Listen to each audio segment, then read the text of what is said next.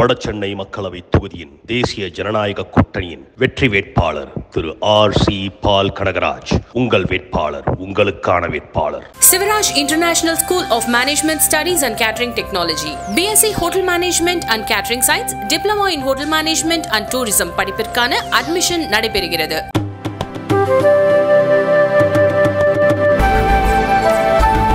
இந்திய அரசியலில் கொச்சையாக பேசுவதில் முதன்மையாக இருப்பவர் அமைச்சர் உதயநிதிதான் என தமிழக பாஜக தலைவர் அண்ணாமலை தெரிவித்துள்ளார்.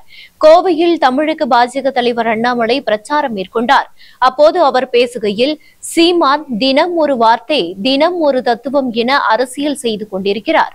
முன்னர் சீமானின் ஸ்லீப்பர் செல் அண்ணாமலை என்று கூறினார்கள். இப்போது வேறு ஏதோ விமர்சித்திருக்கிறார்கள். முதல்வர் ஸ்டாலின் அவ்வப்போது தமிழகத்துக்குள் எட்டி பார்க்கிறார். முதல்வர் களத்துக்கே வராத காரணத்தால் அந்தந்த மாவட்டத்தை சேர்ந்த அமைச்சர்கள் கொள்ளையடிப்பதே முழு நேர பணியாக வைத்திருக்கிறார்கள் முதல்வரை ரோட் ஷோ வர சொல்லுங்கள் பார்க்கலாம். தமிழகத்தின் ஒரு நகரத்தை தேர்ந்தெடுத்து பத்து கிலோமீட்டர் வரை அவரே ஒரு ரோட் ஷோ வரட்டும்.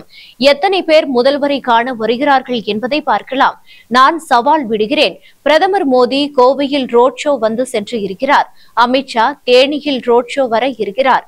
மீண்டும் மோடியின் முக்கியமான ரோட் ஷோ ஷோ ஒரு இடத்தில் நடக்க இருக்கிறது. பிரதமரின் உழைப்பையும் முதல்வரின் உழைப்பையும் பாருங்கள்.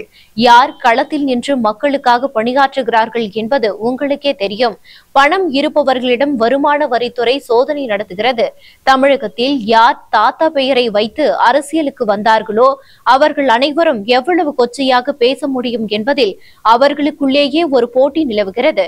அதில் இந்திய அளவில் கொச்சையாக பேசுவதில் முதன்மையாக ஒருவர் இருக்கிறார் என்றால் அது உதய உதயநிதிதான். தனது நண்பர்களிடம் இரவு அமர்ந்து பேசுவதையெல்லாம் உதயநிதி வெளியில் வந்து பேசிக் கொண்டிருக்கிறார்.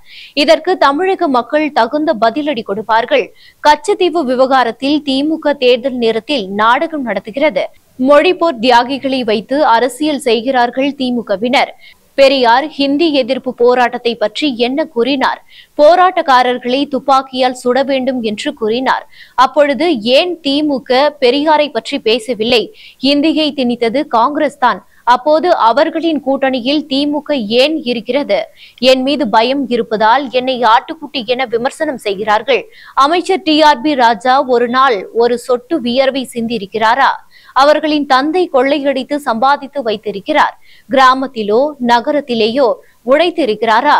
தனி மனித தாக்குதலில் தான் கோவை அரசியலே நடந்து கொண்டிருக்கிறது. கோவையில் புதிய சரித்திரம் எழுதப்பட்டிருக்கிறது. திமுக பணத்தை வைத்து கொங்கு மண்டலத்தை வென்றுவிடலாம் என நினைக்கிறார்கள். அது கனவிலும் நடக்காது என அண்ணாமலை தெரிவித்தார்.